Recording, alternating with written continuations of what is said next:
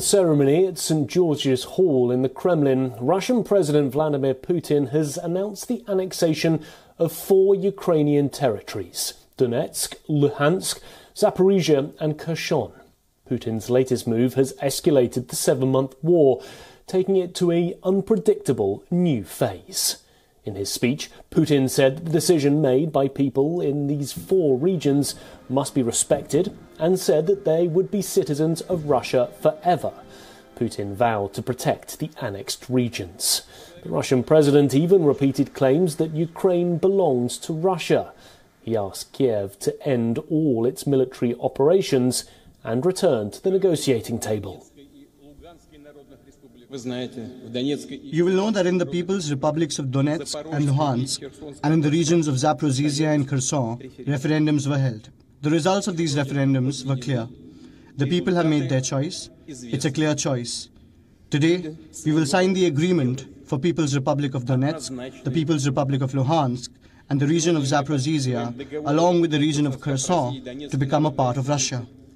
I believe that there will be federal and constitutional support for the four new regions to become part of the Russian Federation, and that is because this is the will of millions of people. Attacking the West, Putin said the US and its allies are merely looking for ways to break up his country by supporting Ukraine in its fight. He says the West is trying to bring Russia to its knees since the fall of the Soviet Union.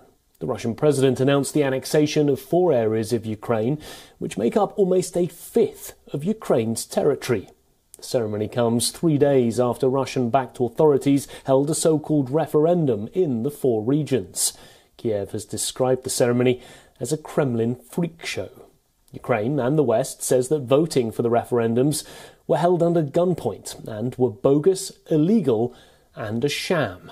They've pledged not to recognise the results. Meanwhile, on the ground, Russia continues with its offensive. In Zaporizhia, a Russian missile strike killed at least 23 people and left dozens injured. The missiles hit a convoy of vehicles on the outskirts of the southern Ukrainian city.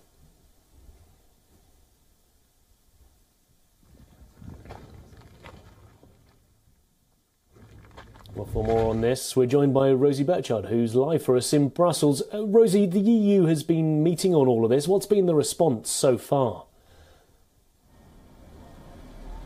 Well, Nick, this comes as a surprise to no one in Brussels. Most here say this is a page straight out of the Russian playbook, but that has not stopped leaders of the European Union from reacting with dismay to this news. Now, they have released a statement in which they say, We do not and will never recognise the illegal so called referenda that Russia has engineered as a pretext for this further violation of Ukraine's independence, sovereignty, and territorial integrity, nor their falsified and illegal results. So that's just a taste of the kind of language EU leaders are using when it comes to their reaction to these, this news of annexation. But they've gone further still. The European Commission, which is headquartered right in this building behind me, has put forward new proposals for sanctions against Russia in, uh, precisely in response to the news of these referendums taking place, or these so called referendums taking place.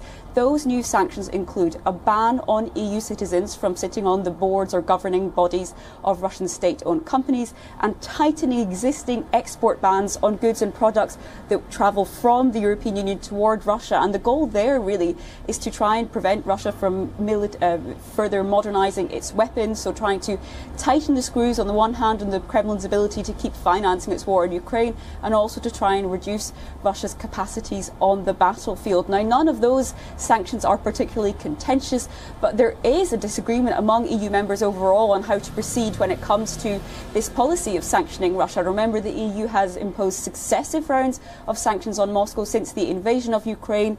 Some EU leaders, for example, Estonian Prime Minister Kaja Kallas, would like to see sanctions go much further still. She wants a full price cap on Russian oil and gas. Meanwhile, Hungarian Prime Minister Viktor Orban is sceptical of the whole policy of sanctions and says they are not working. Sanctions need the unanimous backing of all 27 EU leaders to move forward, so there will still be plenty of debate to be had among these leaders in the European Union, despite this unity presented today with this statement criticising heavily Russia's latest actions. And Rosie, the EU has also just announced uh, new guidelines on Russians entering the bloc. More, what more do we know about that?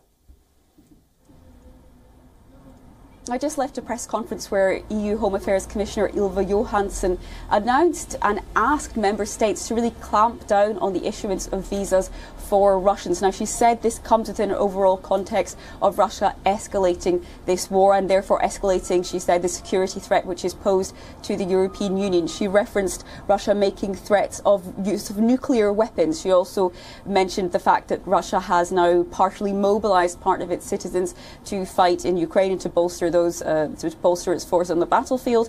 And beyond that, she also mentioned some. What she said is there have been cases of Russian citizens entering the European Union as tourists in order to either provoke Ukrainian refugees or spread propaganda, propaganda for Vladimir Putin. Now, within that context, the European Commission, the bloc's executive, is asking member states to make more thorough border checks to reassess existing visas and to turn down any visa requests should they suspect that anyone intend, from Russia intends intends to stay more than the existed the, than the 90 days that their visa may allow. Now, I should say it's already pretty difficult for Russians to enter the European Union for several reasons. There is a ban on Russian flights entering EU airspace as part of sanctions.